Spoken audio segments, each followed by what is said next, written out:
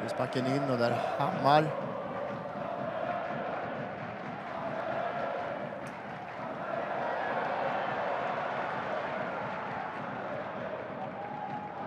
Erik Lund ligger kvar.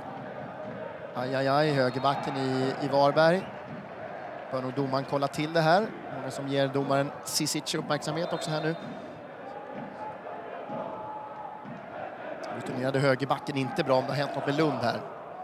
Ja, det har ju hänt någonting, men hoppas att det inte är allvarligt. Det ser inte bra ut.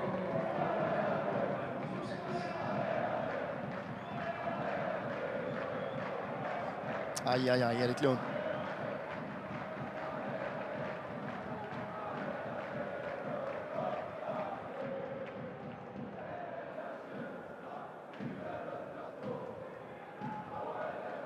Här ska vi se. Ja, eh, försöker ta bollen här. Här kliver han in. Det ser ut som någon vridning där.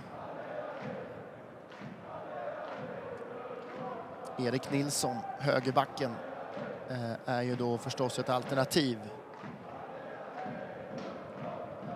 på bänken.